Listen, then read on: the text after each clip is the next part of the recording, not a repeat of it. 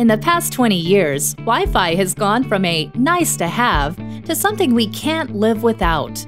Many people feel that Wi Fi is now more important than TV, alcohol, sex, and everything else besides food. Over time, the demands we place on our home Wi Fi routers have continued to increase. The average home now uses eight or more Wi Fi enabled devices. We're video chatting with friends and family, streaming movies, and playing video games. If multiple people use the internet at the same time in your household, your router's bandwidth may be getting clogged up.